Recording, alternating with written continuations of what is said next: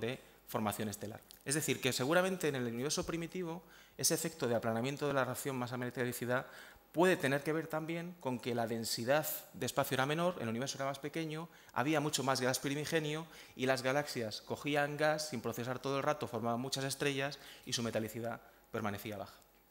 Bueno. Análogas de las primeras galaxias. ¿Seremos capaces entonces de llegar a descubrir las primeras galaxias? Bueno, esto es una nota de prensa que publicamos en, un eh, artículo de Nature el año pasado, son solo 10, pero pensamos que estas, por ejemplo, sí que son realmente galaxias que son eh, genuinamente jóvenes. El problema es que no podemos hacer estadística con 10 puntos para hacer cosas como la relación masa-metalicidad. Esas imágenes son del telescopio Hubble, de nuevo. Eh, de nuevo, los espectros que hicimos con estas 10 son tomadas del, del VLT. Ah, en este caso, en vez de con líneas del óptico, tuvimos que trabajar con líneas del ultravioleta que están corridas al rojo al óptico. Entonces yo diseñé un programa que por primera vez era capaz de medir la abundancia de oxígeno y de, carbono. Me permitieron poniéndome de los primeros autores del, artículo en Nature y, realmente vimos que por primera vez son galaxias que tienen muy poca metalicidad con poblaciones estelares muy antiguas. A pesar de todo, hay galaxias muy especiales en busca de las primeras estrellas. O por ejemplo esta, 1Zuki 18. Esta galaxia es del universo local, no está muy lejos, está del orden de, 50 a 100 millones de años luz y, se caracteriza porque es la galaxia menos metálica de todo el universo local. Si yo hablaba antes de que el Sol tiene un 2% en metales, de todo el gas que tiene, esta tiene una cincuentava parte de la metalicidad del Sol. Y, por ejemplo, uno de los estudios que hicimos con el telescopio de Carl Alto fue ver que hay una población de estrellas ahí que está ionizando el gas de tal manera que no solamente vemos trazas de hidrógeno ionizado, sino incluso de helio ionizado. El helio tiene dos electrones y la energía que necesitamos para arrancar esos dos electrones es muy fuerte. Entonces hay una burbuja de helio ionizado que tiene más de mil años luz y que solamente puede ser debida si hay una generación de estrellas que sea muy similar a, de las, a las primeras galaxias. Seguramente la primera generación de estrellas que se produjo en el universo, al estar libre de metales, eran estrellas posiblemente de, hasta mil veces la masa del Sol, pero con una vida muy breve en términos astronómicos. Así que es posible que sí que tengamos algunas galaxias relativamente cerca y que por tanto podamos estudiar en detalle ah, para saber qué, qué pasó en el universo más lejano. De todos modos, la idea es ser ambiciosos. Tanto por descubrir. Y se están diseñando equipos que nos permitan ver directamente esa población de estrellas y esa población de galaxias, no solamente en, número que se puedan contar con los dedos de la mano, como la que yo enseñé que era la más vieja con una lente gravitacional o la muestra de 10, sino en términos estadísticamente significativos. Entonces, seguramente en la próxima década el telescopio europeo extremadamente grande tendrá un, un espejo primario de más de 30 metros, se está construyendo en Chile, o el lanzamiento dentro de un par de años del telescopio espacial James Webb, que es más potente que el Hubble y además observará el infrarrojo, con lo cual las líneas de emisión que necesitamos para poder medir metales eh, podrán, ser, eh, podrán ser analizadas. Bueno, eso ha sido todo lo que quería contaros hoy, quizá mucha información, muchas cosas distintas, pero por lo menos espero haberos dado una perspectiva un poco de, de lo que es mi campo de investigación y cómo una persona discapacitada puede hacer contribuciones relevantes a este campo de investigación. Así que muchísimas gracias, es que ricasco por vuestra atención y estoy a, vuestra disposición para contestar preguntas ahora. Gracias.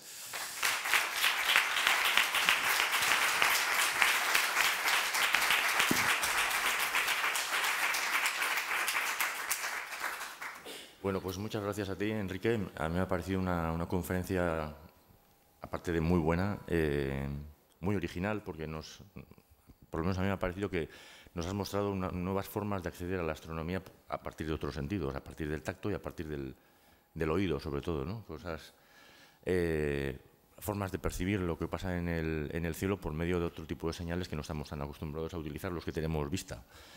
Entonces, te agradezco el, habernos ampliado el campo de esta manera y también la información que nos has dado sobre las las investigaciones eh, puramente científicas que estáis haciendo en vuestro equipo.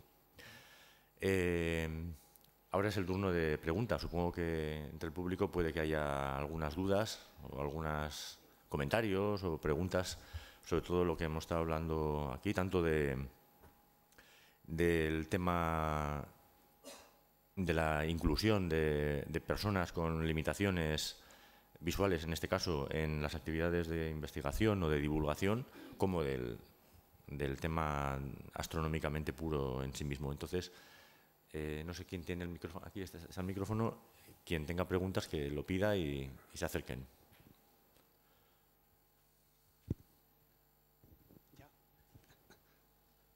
Buenas tardes. Eh, tengo varias dudas, eh, muy- o sea, muchas, pero eh, quería preguntaros dos o tres eh, solamente. Una es eh, las señales que, que analizáis, el espectro, mm, ¿cómo, cómo asignáis o cómo identificáis el origen de esas señales? Otra, el, el universo se considera, o lo consideráis los, digamos, los técnicos expertos, infinito o finito. Y otra, en el caso de que se considerase infinito, o sea, que la una expansión permanente, eh, ¿cómo es que el, el- el Sol o los planetas que, gi- que giran, que giramos alrededor del Sol, aparentemente estamos siempre a la misma distancia? Es decir, el sistema solar o la galaxia eh, eh, eh, permanecería, o sea, se, se movería uniformemente todo el conjunto en el caso de que se considerase una expansión permanente. Ujú. Gracias. Son Nada muchas más. cosas. A ver. La primera, ¿cómo identificamos los rasgos en un espectro? Bueno, eh, uno, uno de los principios básicos que funciona en ciencia es eh, eh, la isotropía de las leyes fundamentales de la física en todo el universo. Es decir, consideramos que las leyes de la física que funcionan aquí en la Tierra, eh, y de hecho tenemos evidencias observacionales suficientes, son las mismas a cualquier distancia. Es decir, si tú en un laboratorio eres capaz de aislar un gas y eres capaz de identificar un patrón de emisión de ese gas a una longitud de onda dada, ese patrón, ese mismo patrón, a la distancia que sea en cualquier galaxia, va a ser el mismo, con lo cual se identifica en el laboratorio. Y sabiendo la longitud de onda de ese patrón de emisión, tenemos unas tablas, por ejemplo, que está tabulado cada uno de los patrones de emisión por qué puede ser emitido. ¿no? Entonces, cuando haces una observación de una galaxia, luego los puedes identificar con, con bastante facilidad. O sea que es directamente con trabajo de laboratorio, como se hace la identificación. Otra, el universo es finito o infinito, no se puede saber precisamente porque la velocidad de la luz es finita. Es decir, nosotros tenemos un muro observacional, de hecho eh, se llama así, universo observacional, que es hace 13.800 millones de años luz. A partir de ahí no se puede ver nada. Seguramente el universo se extiende mucho más allá, pero no sabemos cuánto. Es, un enigma. De todos modos, el concepto finito-infinito es muy relativo, porque no solamente involucra una distancia que no acaba nunca, sino una geometría muy específica. Por ejemplo, ¿se puede considerar un círculo infinito? Seguramente sí. Eh, una esfera, la superficie, puedes moverte por ella sin eh, terminar nunca, sin llegar a un límite, ¿no? Pues seguramente el universo tenga algo de eso en cuatro dimensiones. Con lo cual es difícil desde el punto de vista de la abstracción humana hacerse una idea de cuál es la geometría real del universo. Pero en todo caso eso correspondería a un modelo teórico, porque no se puede traspasar observacionalmente ese límite que es el que impone la edad del universo. ¿Y la tercera cuál era? la tercera era... Sobre, Ah, sí, sí, sí, vale. Vale.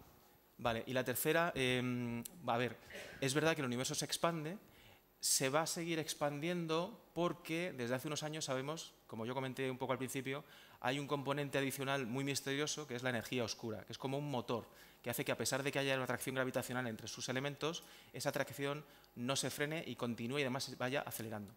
Lo que pasa es que esa energía oscura tiene un dominio físico muy concreto.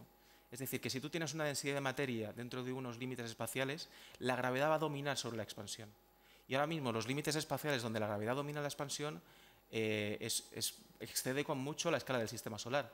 Sin ir más lejos, la galaxia de Andrómeda, que es una galaxia que está a dos millones y medio de años luz, es un tamaño muy similar a la Vía Láctea y se está acercando a nosotros a 300 kilómetros por segundo, porque es atraída por la Vía Láctea. De hecho, en unos 3.000 millones de años, las dos galaxias colisionarán, se fusionarán y crearán una galaxia el doble de grande. En ese caso, la expansión no domina sobre la atracción gravitatoria, con lo cual, a nivel de sistema solar, mucho menos.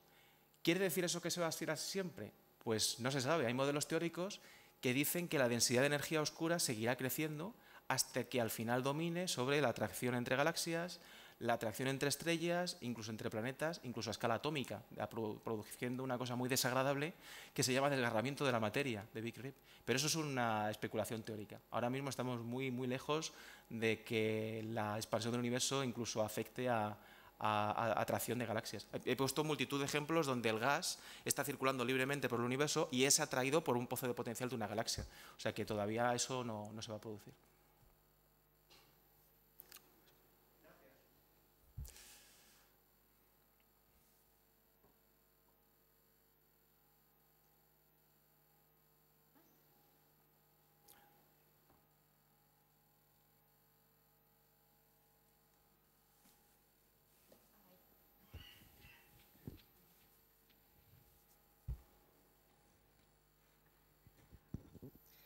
Hola, buenas tardes. Eh, yo hasta ahora había oído más veces que la Vía Láctea tenía forma de disco. Es la primera vez que he oído hablar de una forma esférica, eh, rellena, digamos, de, materia oscura. Si puedes explicar un poquito más esto. Sí, eh, la materia oscura, mm, digamos, no es relevante desde el punto de vista observacional porque no se ve. Es que la materia oscura está mal, puesto el nombre. No, debería llamarse materia oscura, debería llamarse materia transparente, porque no interacciona con la luz. La luz la atraviesa y no le hace ningún daño. Entonces, la, distribución esférica de materia oscura está ahí. Todo el material que está dentro, incluido la materia que no es oscura, es decir, la que, la que puede verse, estuvo rotando en esa esfera durante mucho tiempo. ¿Qué ocurre? Que la materia, eh, digamos, que es la con la que estamos creados todos nosotros, tiene el problema de que cuando emite radiación se enfría y al perder eh, temperatura se frena y al, frenarse cae y al caer cae en un disco. Entonces la componente, digamos que está por encima del disco, de eh, materia visible se perdió. Toda la materia visible se concentra en un disco, algunas estrellas están por encima, por debajo de ese disco, y toda la materia oscura permanece inalterada en una esfera. Pero todas las galaxias, sin excepción, son esferas de materia oscura en el cual la materia visible ha caído siguiendo distintos patrones dentro. Nosotros, como durante mucho tiempo solo hemos visto las estrellas, pues pensamos que hay estrellas que son discos o que son elipses o que son irregulares y en el fondo las estrellas siguen esa forma, pero la materia oscura siempre es una esfera.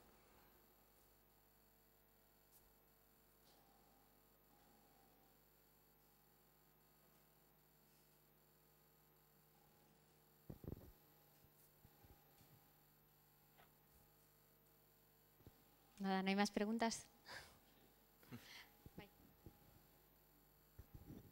Primero, darte las gracias por, la exposición. Y luego, retomando un poco lo que has comentado, cuando hay dos galaxias interactúan, has puesto el ejemplo de Andrómeda con la Vía Láctea, sí. Eh, ¿puede ser efecto engañoso que a la hora de interactuar la metalicidad pueda eh, variar, seguirá siendo la misma o genera algún efecto engañoso, se rejuvenecerá en alguna medida? ¿Hay modelos teóricos que lo...?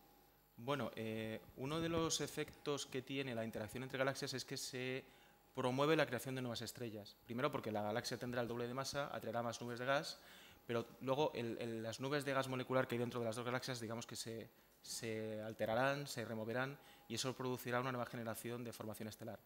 En términos de la metalicidad, eso supondrá un aumento de los, de los metales que hay, porque de hecho hemos visto la relación masa-metalicidad, una galaxia cuanto más masiva es más metálica, eh, esta fusión de galaxias producirá que sea más masiva y ese proceso de formación de estrellas creará nuevos metales, pero será un proceso, digamos, lento.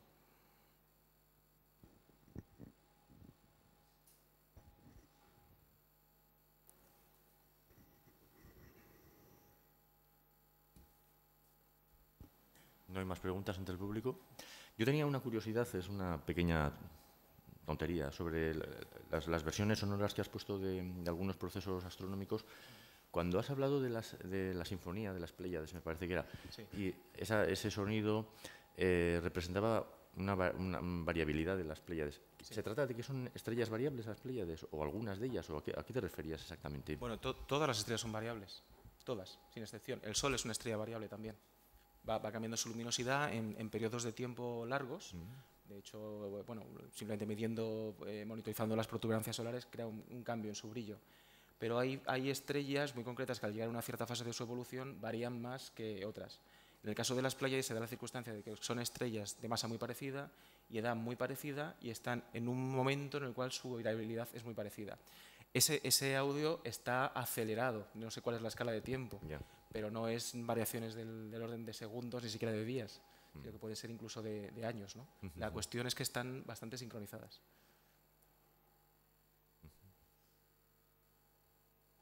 aunque tampoco es mi campo de investigación, no te puedo dar los detalles de, qué es lo que gobierna la variabilidad de una estrella, pero sobre todo es el tiempo de evolución y la masa.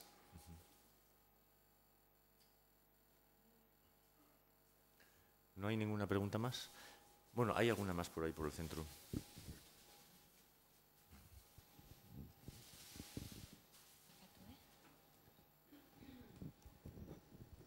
Sí, bueno, yo, yo es que no, no, no, he entendido prácticamente nada. Bueno. Entonces, lo único que yo quiero preguntar es, ¿la Tierra, por ejemplo, llegó a ser algún sol? Si la Tierra llegó a ser algún sol. ¿En algún momento? Pues no, no. No. Eh. Entonces, eh, es que yo no entiendo porque debajo de la capa de la corteza terrestre está una, como, una, como una masa de, como, una masa como el Sol, ¿no? Eh, debajo de la atmósfera. No, de, la, de, la, corteza de la Tierra. ¿Te refieres a, por qué está fundido? Sí, porque está fundido es como una masa, bueno, como una masa, como, como un, no sé cómo explicar. Está como... ¿Por qué el interior de la Tierra tiene una temperatura tan alta? Tan alta, exacto. Vale, bueno, de todas maneras no tiene nada que ver con la temperatura del Sol. Eh, la temperatura del interior de la Tierra... Si, le quitas la, la, corteza de la Tierra, sería como un Sol, ¿no? No, para nada. ¿No? No, la temperatura no tiene nada que ver. El interior del Sol está a millones de grados. Ya, ya. La atmósfera del Sol sí que se puede parametrizar una temperatura de unos 6.000 grados, pero el interior está a millones de grados. El interior de la Tierra está a temperaturas del orden de miles de grados, o sea que son como 100, mil veces más frío el interior de la Tierra. Lo que pasa es que esa temperatura, eh, la, roca está fundida, pero no quiere decir que la temperatura sea la misma. De hecho, el proceso que hace que el interior de la Tierra esté caliente no tiene nada que ver con el proceso que hace que el Sol esté caliente. En el Sol, la masa del Sol es, tal, de hecho, el, Sol es... Eh, pues me parece que es un millón de veces más masivo que la Tierra. Eh, son las reacciones de fusión nuclear. Sin embargo, en la Tierra es la radiactividad de los elementos pesados lo que mantiene la temperatura del, interior de la Tierra. Y como la corteza actúa de freno, no se, puede, no se puede enfriar. Pero para nada es tan caliente el interior de la Tierra como el interior del Sol. Pero en su momento, eh, pero la, pero la Tierra no va perdiendo masa, por ejemplo. No. ¿No? No. No, no va perdiendo masa. Pero yo, yo es que veo el interior de la Tierra como un reactor nuclear. Y, me, me, imagino, que es como un sol pequeño, que se ha enfriado la corteza. Sí, pero de, verdad que mm, eso, una, mm, reacciones de fusión nuclear como las del Sol pueden alcanzar temperaturas de, decenas de millones de grados de temperatura. Porque la compresión es, es, brutal, porque es muy masivo. el interior de la Tierra son miles de grados, lo que hace que la roca se funda, pero mm, no hasta el punto de ser tan caliente como una estrella. Luego, el, hecho de que el interior de la Tierra esté fundido, por ejemplo, eh, unido con la rotación, eso produce efectos como que tengamos un campo magnético, igual que el del Sol. Ese campo magnético nos protege de partículas solares cargadas, pero no está tan caliente como el Sol, ni mucho menos. Yo pensaba que, podría haber tenido más tamaño y ahora haberse quedado en esta, dimensión. Mm. Ahí tienes un, ejemplo intermedio entre la Tierra y el Sol, que es Júpiter, que es mil veces más masivo que la Tierra y tampoco ha llegado a producir tal presión de gravedad en su interior como para producir una estrella. Necesitas aún más masa que la de Júpiter. Ya, ya, ya. Vale, gracias. ¿Había otra pregunta por aquí?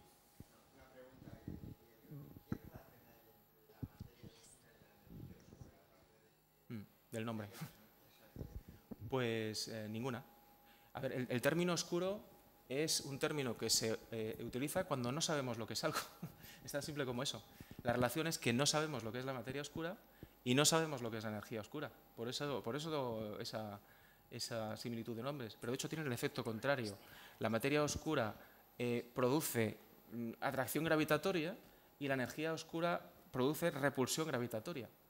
Eh, la energía oscura ah, está provocando la expansión del universo y la materia oscura es lo que evita que las galaxias se deshagan. Es el pegamento que hace que las galaxias no, sean más pequeñas o que, las estrellas rocen más rápido. Pero no sabemos lo que es, solamente conocemos sus efectos. Pero ahora mismo no se tiene ni idea de lo que es ni una ni otra, por eso el nombre de oscura. Pero ya, como he dicho antes, yo creo que está mal puesto el nombre. La materia no es oscura, es más bien transparente. Y la energía oscura está ahí, pero tampoco puede ser vista porque no interacciona con la luz. Y hasta ahora, mismo el, único, no es el único, últimamente se pueden eh, detectar ondas gravitacionales, pero el principal, la principal fuente de información es la luz. Y como ni la una ni la otra ni emiten ni interaccionan con la luz, podemos estudiarla en detalle. Así que, oscuro. Esa es la razón. sí, eh, yo tengo un poco de confusión entre las velocidades, eh, los tiempos y las distancias. Sí. Eh, vamos a ver, he creído entender que decías que hay galaxias mm. de las cuales la luz no ha llegado todavía hasta nosotros. Sí. Bueno, entonces, si el Big Bang se produjo hace 13.800 millones de años, sí. Eh, quiere decir que estas galaxias se han alejado a una velocidad superior a la de la luz. En realidad las galaxias no se han alejado, es el espacio el que se va, haciendo más grande. De todas maneras, eh, básicamente sí, la respuesta es esa. Pero como no son las galaxias las que se desplazan, sino que es el propio espacio el que se va haciendo cada vez más grande, pues eh, efectivamente, el espacio se mueve más rápido que la luz. ¿Existe entonces la velocidad superior a la de la luz? No, porque los objetos no se desplazan. Lo que se desplaza es el espacio. El espacio que se, ah. se hincha, ¿no? Sí, mm. exactamente. Muchas gracias. Bueno, si no hay más eh, preguntas, vamos a ir cerrando la sesión de hoy. Vamos a, a entregar a Enrique, a nuestro ponente de hoy, un pequeño regalo, como es costumbre. Eh, aquí tienes. En vez de verlo lo tendrás que tocar, sí. a diferencia de, de, lo que es habitual. La barandilla de la concha. Ah, es una reproducción de la, de la, célebre barandilla de la concha de San Sebastián. Muy bien, gracias. Muchas gracias. Es que ricasco.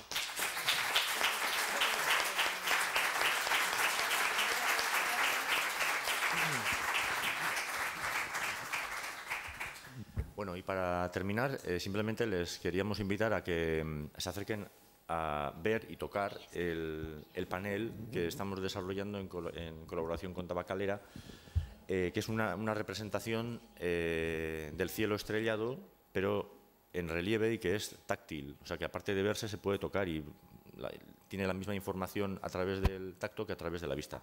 Esto es solamente una pequeña parte de lo que será el panel final, porque todavía el proceso está en marcha, eh, pero aquí tenemos la parte del cielo correspondiente al tramo de la eclíptica entre las constelaciones de Escorpión, Sagitario, Capricornio y lo que está al norte y al sur de esa zona del cielo. Eh, nuestro ciclo de conferencias empezaba hoy y continuaba mañana. Mañana teníamos previsto la, conferencia de Josefa Masegosa, eh, Astronomía, una mirada de género, pero eh, desgraciadamente nos ha avisado hoy, esta tarde, que no va a poder venir por un tema de salud, un tema se ha puesto enferma a última hora, algún virus, de los muchos que andan por ahí descontrolados.